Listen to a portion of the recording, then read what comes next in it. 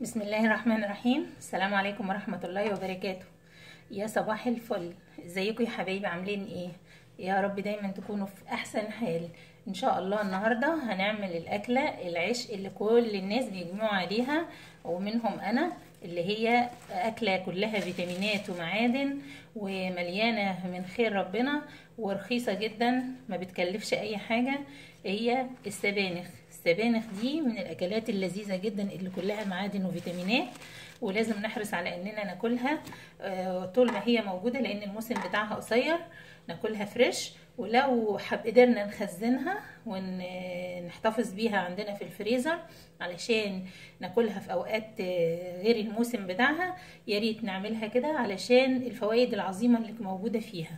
ده خضار موجود فيه نسبة كبيرة جدا من الحديد وموجود فيه معادن وفيتامينات كالسيوم وبوتاسيوم أي ورقيات خضرة كده مفيدة جدا. هنبتدي بقى نشوف هنشتري السبانخ إزاي. لازم نجيب الورقة بتاعتها سميكة كده وتكون الربط بتاعتها قصيرة وروسها حمرا بالمنظر ده. دي بتبقى جميلة جدا وبتبقى تحفة. وطبعا نجيبها فريش آه ونبتدي بقى نشوف هنعملها إزاي. أول حاجة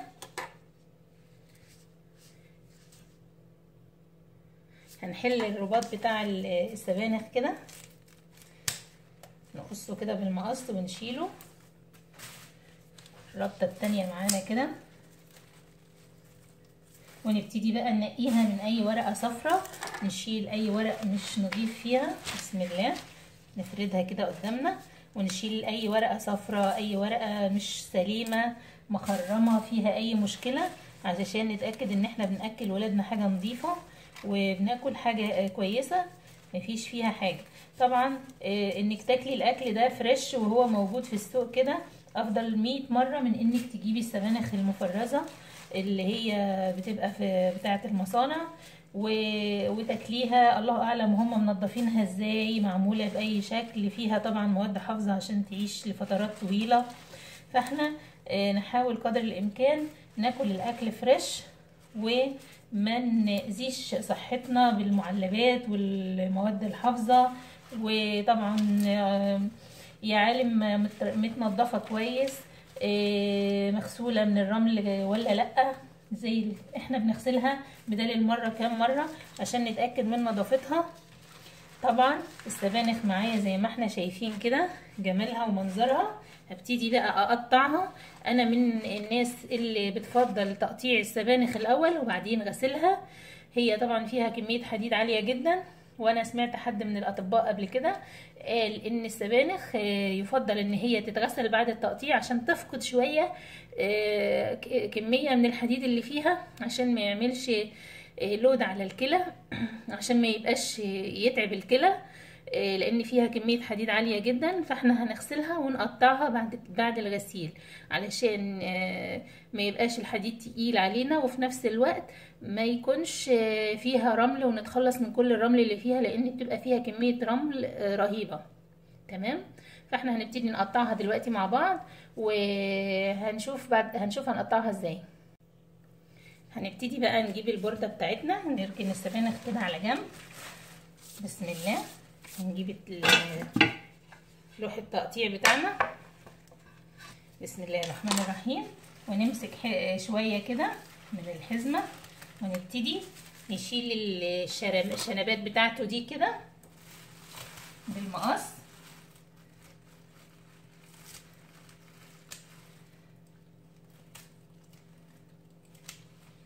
نضفناها بالمنظر ده. هننضف قدر الإمكان. ونبتدي بقى بسم الله الرحمن الرحيم. نقطعها. نمسكها كويس جدا كده بإيدينا. في ناس بتفضل التقطيع بالمقص وفي ناس بتفضل بالسكينة. أنا بحب أقطع بالسكينة على البوردة كده. بسم الله. هنقطعها صغير بالمنظر ده. وهتجيبي أكبر طبق عندك طبق بلاستيك كبير علشان تغمريها بالمية. تغسليها غسلة واتنين وبعدين بعد الغسلة واتنين تنقعيها شوية في مية بمعلقة خل عشان تتخلص من أي ميكروب أو جراثيم فيها عشان نبقى مطمنين إن إحنا بناكل حاجة نظيفة وصحية. زي ما إحنا شايفين هي الورق بتاعها بيبقى هايش كده بس ما تقلقيش في الطبخ كل ده بينزل. هنقطعها تقطيع ظريف كده ما يكونش كبير.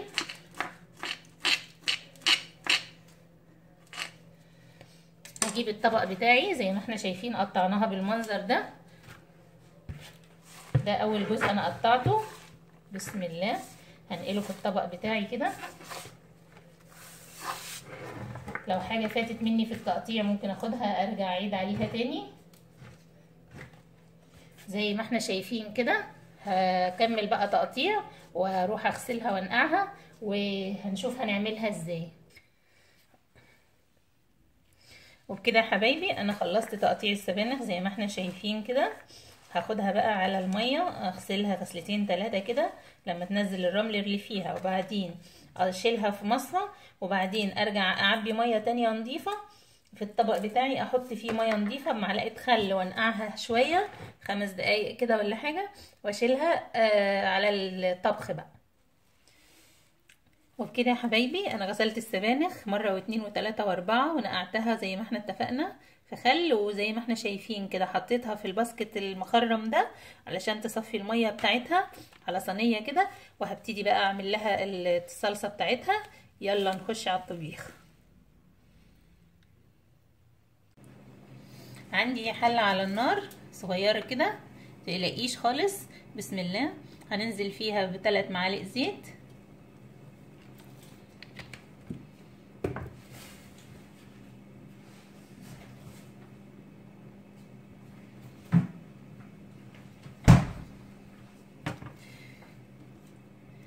هنسيب الزيت بتاعنا يسخن جدا. وعلى ما الزيت يسخن أنا عندي بصلة مفرومة زي ما إحنا شايفين كده. هنزل بيها. بسم الله الرحمن الرحيم. هصفرها تصفير كده بس. وهتاخد اللون الذهبي. بسم الله الرحمن الرحيم.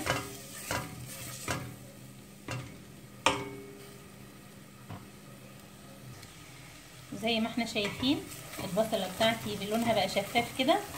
استنى عليها كمان نص دقيقة.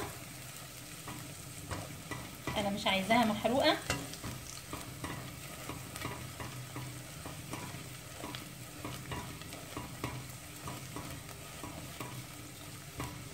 في الوقت ده هنزل عليها بثلاث فصوص توم أو أربع فصوص توم مهروسين. خليه بس كده إيه يتشوح معاها ويطلع ريحة الثوم الجميلة اللي إحنا بنحبها.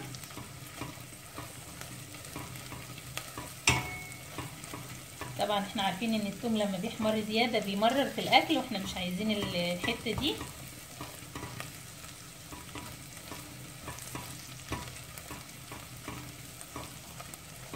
تشويحتين كمان كده وأنزل بقى بعصير الطماطم.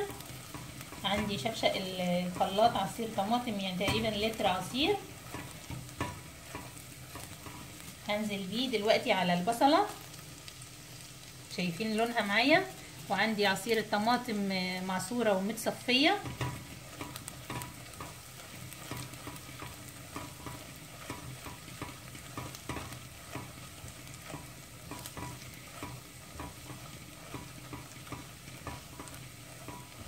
ريحة الثوم ظهرت معايا اهي جميلة جدا. والبصلة خلاص بقت دخلت في اللون الذهبي. هنزل بسم الله الرحمن الرحيم كده. بعصير الطماطم. وابتدي بقى أقلب.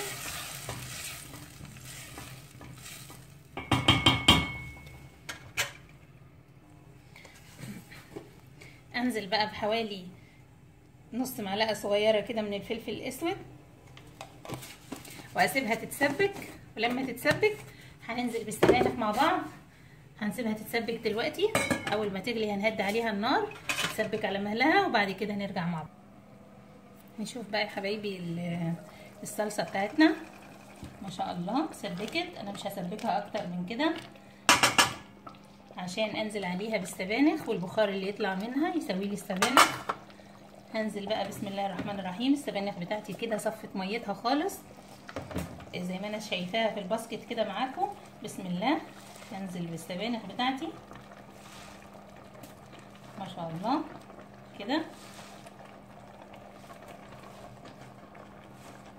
هنزل بالكمية اللي أنا عايزة أنزل بيها. كده. وأغطيها وأستنى دقيقتين علشان أنزل بالكمية الباقية. متقلقيش خالص. كل ده هينزل الهيشان ده كله هينزل وهتبقى كمية قليلة خالص. اغطيها شوية. نشوف معايا حجم السبانخ. ما شاء الله كانت مالية الحلة دلوقتي نزلت كتير. هنزل شوية كمان. عرفتي بقى مش لازم تنزلي بيها كلها مرة واحدة. أنا هستكفي بالكمية دي. والكمية الباقية هفرزها عندي بقى الحاجة اللي بتخلي لي السبانخ ليها طعم وهمي جدا وبتعزز اللون بتاعها. معلقتين من العدس الأصفر كده هننزل بيهم على السبانخ فوق السبانخ كده مغسولين كويس جدا متصفيين. ده بيعزز اللون والقيمة الغذائية. إحنا عارفين العدس قيمته الغذائية عالية جدا. بروتين طبعا البقوليات بتبقى كلها بروتينات بروتينات نباتية. هننزل بيها على السبانخ كده. هيخلي لي لون الصوص اللي نازل من السبانخ ده خطير جدا والطعم وهمي. وجربي واحكمي بنفسك. وهتبطلي تعمليها بقى ال الناس اللي فيه كتير يعني بيعملوها. بلسان العصفور أو بالرز أو كده. دي أفضل طريقة ممكن تعملي بيها السبانخ. هتاكلي سبانخ خطيرة جدا وهتدعيلي. أغطيها بقى وأخدها غلوتين على نار عالية. الخضار إحنا عارفين عشان ما يفقدش قيمته الغذائية بنعمله على نار عالية بسرعة كده علشان ما يطولش على النار ويفقد الفيتامينات الموجودة فيه. بالنسبة بقى للجزء المتبقي عندي من السبانخ أنا هفرزه وتفريز السبانخ زي ما هو كده فريش كده نية وبعدين أنا هشيلها علشان أنا حابة أعمل فطاير بالسبانخ. عندي بنتي بتحبها جدا هحاول أعمل شوية إن شاء الله معاكم وهفرزها كده زي ما هي. وقت التسوية هوريكم بنعملها إزاي بنحضرها إزاي علشان نعملها في الفطاير. المهم تكون مغسولة كويس ومتصفية وبتعيش معاكي كده من السنة للسنة لونها أخضر ما بتتأثرش خالص وعندي تقريبا من السنة اللي فاتت كمان لسه زي ما هي فريش زي ما هي في الكيس كده.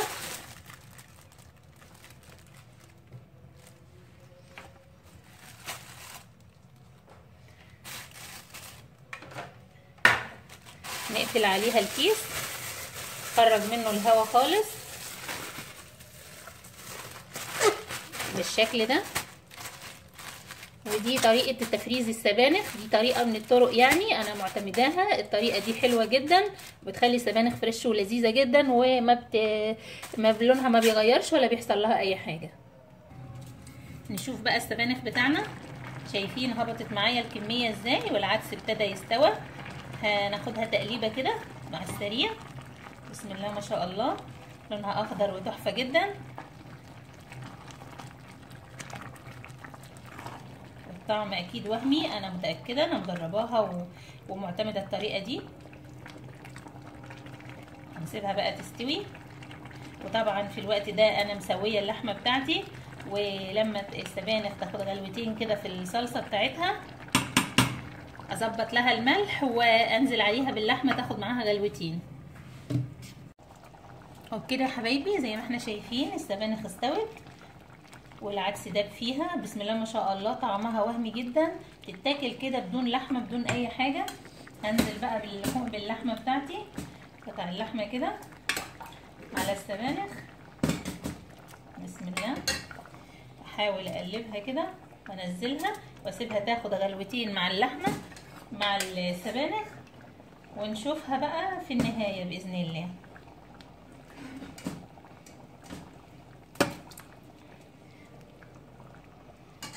كده. غلوتين ثلاثة اللحمة مع السبانخ كده ونطفي عليها وصحتين وهنا.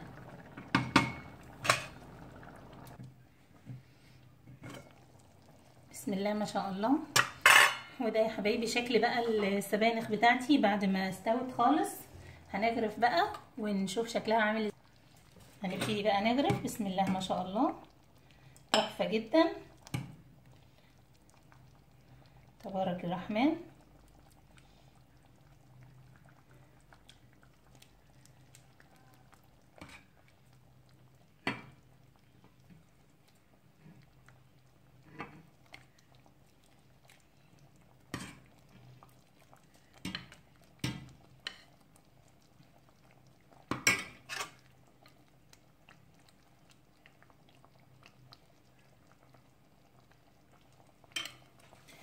وده شكل الطاجن بتاعي الطبق الغرف بسبانخ باللحمة. شكل الطبق شهي جدا يفتح النفس. يلا بقى قدمي طبقك ده الحلو سبانخ باللحمة مع الرز بشعرية أو الرز حباية وحباية. طبق صحي جدا طبق كله فيتامينات ومعادن ممتاز. حتى لو من غير لحمة فيه كمية معادن كتيرة جدا وكمية فيتامينات وكمية حديد ممتازة. اعمليه على طريقتي وأنا متأكدة إن أنتي هتدمنيها. إن شاء الله يا رب يكون الفيديو خفيف ولطيف وعجبكم. ولو عجبكم الفيديو like و share عشان نتقابل إن شاء الله في فيديو جديد. والسلام عليكم ورحمة الله وبركاته.